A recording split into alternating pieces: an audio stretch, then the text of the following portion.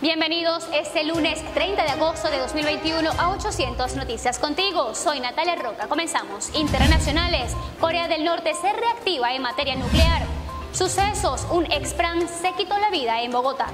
Y en nacionales, conmoción en Venezuela tras la muerte de un preso político. El 29 de agosto, el director de la organización Foro Penal, Alfredo Romero, informó vía Twitter que el político Gabriel Medina Díaz, de 39 años, murió recluido. Agregó que llevaba más de un mes grave de salud sin recibir atención médica y que es el noveno preso político que muere estando detenido desde el 2014. Un equipo de Foro Penal en Monagas estuvo en las afueras del centro penitenciario La Pica, donde se encontraba Medina. Pudimos eh, hablar con algunos custodios donde aseguraban que el traslado que se hizo de este preso político lo hicieron incluso tomando ellos toda la responsabilidad porque el tribunal no eh, eh, hizo caso omiso de esta situación. Quisimos entrar a ver la situación de los presos políticos que se encuentran actualmente en la pica y como siempre no nos dieron la posibilidad de saber. Eh, es importante también señalar que muchos de estos presos políticos son de distintas ciudades del país y como sabemos el tema de la gasolina los familiares difícilmente se pueden trasladar a esta cárcel lejana y en este caso los defensores activos del foro penal tratamos de ayudar a estos familiares en tratar de canalizar y ayudar con algún tipo de medicamentos y se nos imposibilita la, la entrada al recinto penitenciario tanto de Prosemil como La Pica.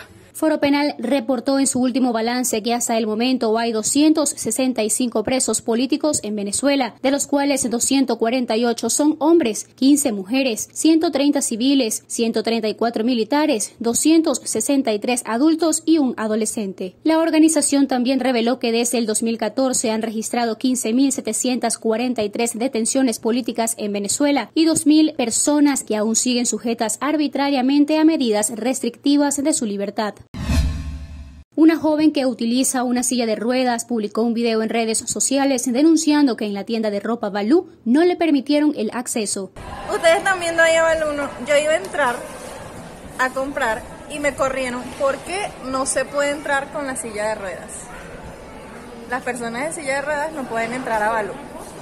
El hecho ocurrió en el Centro Comercial Propatria de Caracas. Tras el incidente, la marca Balú publicó un comunicado donde se disculparon con Kelly por la terrible experiencia que le hicieron pasar, manifestando que Balú está en contra de la discriminación y que sí les es permitido el acceso a personas discapacitadas. El 29 de agosto, durante la alocución política del oficialista a la gobernación de Portuguesa Primitivo Cedeño, la tarima del evento colapsó. Que maneja la policía ahora. Eso lo hicimos el gobierno de la negra, el gobierno que yo continuaré, donde les daré. El hecho ocurrió en Portuguesa y el candidato es hijo de la exgobernadora de la entidad mejor conocida como la Negra Antonia. Sucesos. Este 30 de agosto reportaron que el expran de la cárcel Sabaneta, alias El Mocho Edwin, se quitó la vida en Bogotá, Colombia, luego de sostener una fuerte discusión con su pareja. Su novia llamó a las autoridades y el delincuente, al verse rodeado de funcionarios, decidió saltar por la ventana de su apartamento.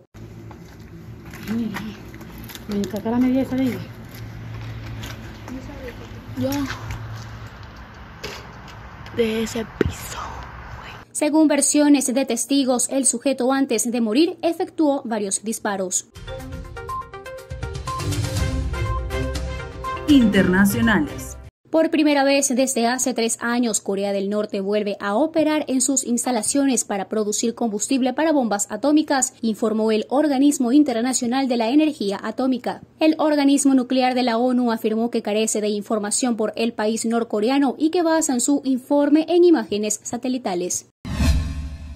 Palestina e Israel se reunieron el 29 de agosto en Ramallah durante el primer encuentro de alto nivel entre oficiales de ambos lados. Por Palestina fue el presidente Mahmoud Abbas y por Israel el ministro de Defensa Benny Gantz. Aunque fue un avance significativo en la historia, aún se encuentran lejos de una posible reanudación de las negociaciones de paz entre ambos países. Esta resultó ser la primera reunión entre líderes políticos israelíes y palestinos desde el 2019, mientras que en Afganistán siguen los atentados por los talibanes en contra de civiles y autoridades que intentan evacuar del aeropuerto de Kabul a los afganos atrapados en medio del conflicto. Varios proyectiles que tenían como único objetivo golpear en el aeropuerto de Kabul este lunes fueron impactos recibidos en la ciudad. Se reportaron seis personas muertas. Los cohetes fueron proyectados desde un vehículo en el norte de la ciudad e iban con destino al aeropuerto, afirmó el talibán Bilal Karimi.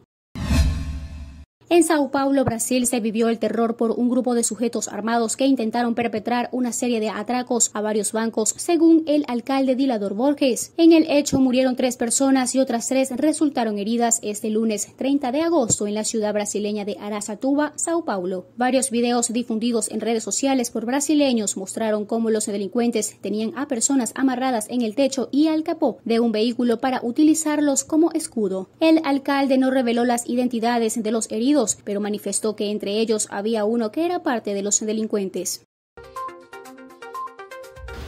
Seguimos con más informaciones en contenido de entretenimiento. Karina y su hijo transgénero alborotaron las redes sociales. En deportes, Venezuela está en busca de otra medalla en los Juegos Paralímpicos. En religión, el Papa Francisco se solidarizó con Venezuela tras la tragedia en Mérida. En tecnología, ¿sabía usted que puede dividir la pantalla de su Android? Todo eso y mucho más con nuestra periodista Catherine García.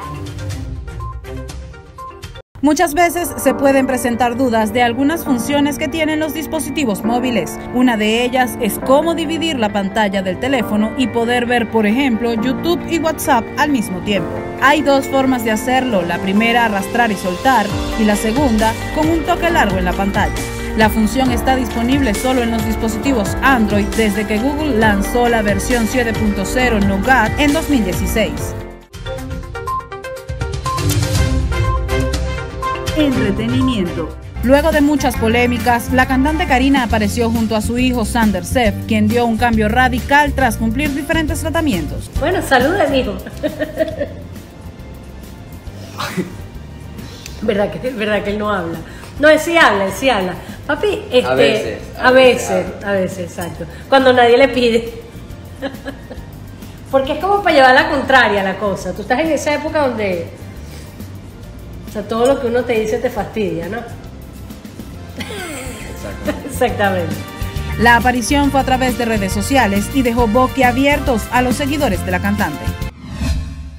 El actor multifacético Johnny Depp está preocupado por su estabilidad financiera debido a la batalla legal que actualmente enfrenta. Según fuentes de farándula, Depp está desesperado por volver a Disney y está exigiendo un cheque de pago masivo para regresar por un reinicio de la película Piratas del Caribe. Deportes. La atleta venezolana paralímpica Linda Pérez logró finalizar otra carrera de 100 metros en los Juegos que se desarrollan en Tokio, Japón. Esto significa que Linda se fue cómodamente a las definitorias con un tiempo de 12.29, obteniendo el primer puesto en la semifinal de los 100 metros en la categoría de invidentes totales.